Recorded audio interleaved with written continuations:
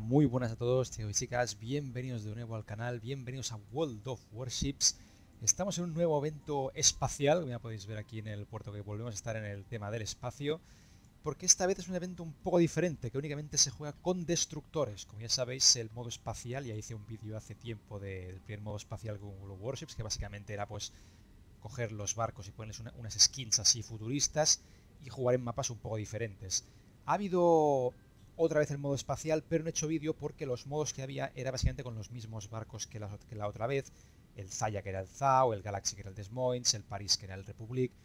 Y cambiaban un par de cositas simplemente, un modo que había que atacar y defender, pero tampoco era mucha novedad. Pero sin embargo este, este modo que es el Torpedo Bit, es un poco diferente porque únicamente se juega con destructores y prácticamente es lanzar torpedos sin parar, porque ya dicen que las baterías principales, los cañones, eh, son automáticos, es decir, no tienes que preocuparte de apuntar, simplemente tienes que eh, ir jugando, tirando torpedos y los cañones disparan solos. Entonces, de, base partís con dos, con dos destructores que son el Celestial y el Comet. El Celestial es un, es un Z, vamos a decirlo así, porque tiene hidroacústica, como podéis ver, así que podría ser una especie de Z52, pero adaptado al Tier 8, digamos. Y eh, el otro es el Comet Trace, que sinceramente podría ser un estadounidense, porque es una especie de Fletcher, parece, ¿de acuerdo? Pero va mucho más deprisa, porque tiene empuje del motor, tiene, los dos tienen curas, que es, lo, que es lo importante, pero este tiene empuje del motor, así que puede ir un poco más deprisa. Entonces, este tiene lanzadera quíntuple y el Celestial tiene dos lanzaderas cuádruples. Entonces, las builds, aquí es un poco a gusto del consumidor, lo que está claro es que lo que tenéis que enfocaros es en la recarga de torpedos y en la detección de torpedos, porque los torpedos van a ir muy, muy deprisa, mucho más de lo normal. También los destructores van muy, muy deprisa. Y todo lo que son eh, habilidades de disparo, realmente por mucho que os hagáis una build de disparo para disparar más rápido o a más alcance, creedme que tampoco os va a servir de mucho. Lo, que realmente hace daño son los torpedos. La, disparo con la batería principal, aunque sea automática, no hace mucho. Así que yo para el Celestial me he puesto esto con la aceleración de torpedos, para irnos un poco más cerca. Ya que tengo la hidro, me puedo acercar un poco más. Y me he puesto también radiolocalización y camuflaje. Y para el Comet, pues me he puesto algo diferente. Como no tengo la radiolocalización, eh, no he puesto la aceleración de torpedos, así que los disparé a 10 kilómetros en vez de a 8. Y me he puesto un poco más de aguante y también la detección y sin la radiolocalización. Es un poco a gusto del consumidor. Lo que está claro es que os digo, no vale la pena estas, estas habilidades de aquí, por mucho que recarguéis un poco antes. Créanme, no vale la pena. No es un juego pensado para disparar. Así que de momento partís con estos dos. Sé que podéis conseguir eh, uno más, que creo que es el... ¿Cuál era este? Que sale por aquí. El rover, que el rover no sé realmente cuál, cuál es. Imagino que será un... No sé si será inglés, imagino que el nombre sería inglés, no creo que sea, que sea ruso. Pero bueno, eh, sí, simplemente ir jugando y ya está. Y bueno, para no decir nada más, voy a enseñaros un par de partidas, uno con el Celestial y, otra con el Comet Trace y así veis un poco los que aún no habéis podido jugar a esto o simplemente no, no tenéis World of Warships pero estáis interesados en saber cómo va, pues ver qué tal es este, esta variante nueva del, evento espacial que sin duda promete muchas, muchas horas de, diversión porque son juegos rápidos y muy dinámicos. Así que vamos allá. Y nada, aquí empezamos ya esta batalla de Torpedo Beat. Vamos con el... Bueno, Fly Fire, aquí le cambié el nombre por el replay, pero sería el Comet Tracer. Ya veis como que rápido, vamos a 109 nudos. Es algo es un minijuegos muy, muy rápidos. La musiquita es, es brutal. Y ya os digo, aquí la, para mí la clave para conseguir ganar en estos juegos es no rusear. No rusear mucho porque, creedme, eh, sois todos muy ágiles. Eh, no vale la pena rusear, porque hay muchos torpedos. Otra cosa importante, no hay fuego amigo, ¿de acuerdo? Eh, quiere decir que Tú puedes colpear los torpedos a tus, a tus, eh, a, tus amigos, como podéis ver, a tus compañeros de equipo, y no les hacéis nada. Así que lo importante es ir tirando torpedos a todas, a todas partes prácticamente, porque así consigues que, que alguno le dé realmente. Intentar apuntar con, la, con, la, con el marcador con el marcador gris es un poco absurdo porque prácticamente nunca les vas a conseguir dar. Eh, podemos cambiar, ya veis cómo se acelera, cómo se gira y veis ahora, estos son torpedos aliados, me va a dar alguno y ni siquiera me baja la vida. Eso es muy bueno, porque contando torpedos, si tuvieras que esquivar los aliados, sería un auténtico engorro. Así que lo mejor es ir tirando torpedos. Veis, por ejemplo, hemos cargado ahora a otro, a un enemigo.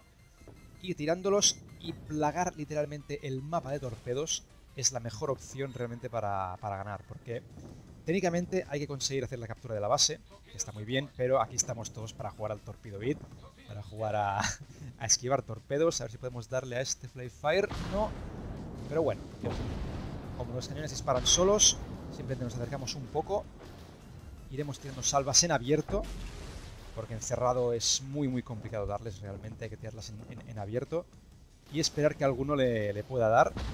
A ver, no. Sí, le hemos dado perfecto. Ya hemos cargado a dos. Vamos, muy bien, solo queda uno, esto va a ser rápido. Ya os digo, son partidas muy muy rápidas, muy muy dinámicas, que hacen que el juego sea muy trepidante, tengas que estar muy muy muy atento. y suelen durar... Perdón. Suelen durar nada, dos minutos, tres, cinco minutos como máximo. Suelen ir muy muy deprisa. Aquí nos vamos a acercar un poco a ver si podemos darle con, la, con las baterías principales, pero lo mejor es ir tirando torpedos de forma random, ¿eh? ya os digo, ¿eh? intentar apuntar no vale mucho la pena, ya veis que giran muchísimo estos esos destructores a diferencia de los normales y realmente no vale para nada la pena. ¿eh? Es mejor ir acercándose aquí ahora pues con, cañones y esto ha sido el que sería el, el Comet 3. Y aquí estamos en esta con el Celestial, lo que sería el, Blue Aster. Ya os digo, en este, esta configuración que tengo aquí es con aceleración de torpedos, así que los tengo a 8 kilómetros, pues tengo la hidro.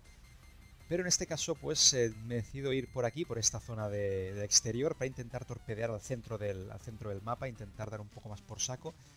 Y como tengo que acercarme más, en este aspecto prefería estar un poco más alejado de la acción. Veis que tenemos un Fly Fire, bueno, que sería el, Tracer y por si de acaso creo que aquí activar ya la hidro, sí, porque no me fiaba de lo que pudiera, de lo que pudiera ver. Así que ya veis, de momento un poco más alejado de la acción. Ya veis la de torpedos que hay aquí en todas partes. Fijaos que recargamos súper rápido, creo que se recarga en 13-14 segundos los torpedos, así que... Mira, un torpedo le hemos dado ya a otro Celestial. Bueno, aparece como Blue Aster y Flight Fire porque son los nombres que tenía en el modo espacial original. En los replays aparecen así.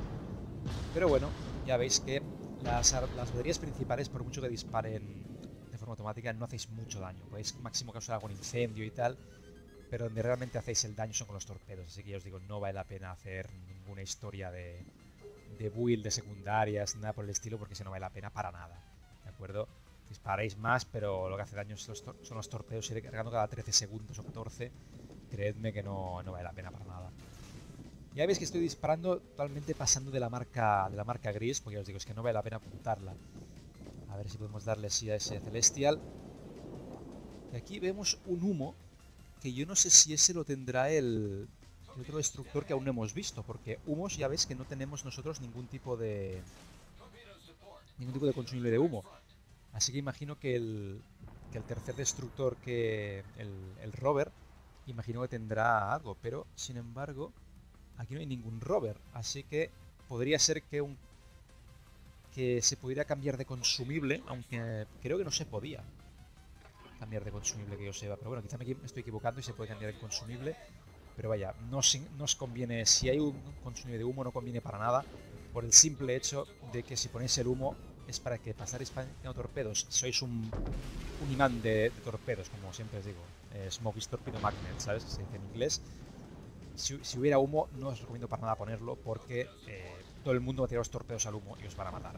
Así que no sé si ha sido eso algo raro que hemos visto ese humo, pero ya veis que tampoco se rusea mucho porque digo, es que hay muchísimo torpedo, ¿vale? No vale la pena para nada. De torpedos, a ver si alguno da. A ver si podemos darle a ese de ahí. Sí, uno. 4000 y lo matamos, perfecto. Sin problemas, ahora nos quedan solo dos enemigos. Pero digo, no hay que subestimarles, ¿eh? No hay que rusear aunque sean dos, porque os digo, un par o tres de torpedos que os den ya os destrozan, ¿eh? A pesar de que tengáis la cura, no os fiéis. Los torpedos hacen bastante daño, ya veis que puede hacer golpes de, de 8000 y, compañía, así que si os dan un par, ya prácticamente tenéis toda la vida fuera, ¿eh? Así que no, no os fiéis, ¿veis? Y tengo torpedos, que esto lo, que hacéis es ir incrementando las posibilidades de que alguno le dé. Tan simple, tan simple como esto. Cuanto más, cuanto más torpedos en el agua hay, más difícil es para los otros esquivarlos. Vemos a este otro Blue Aster, que sería el Celestial. Está muy cerca, a ver si podemos darle Aquí los tienen abierto. ¿Veis? Fijaos, incluso en abierto a esta distancia los, pueden esquivar sin ningún tipo de problema. Así que por eso os digo, no, no vale mucho la pena. Aquí tiro la hidro porque sabía que nos iba a tirar.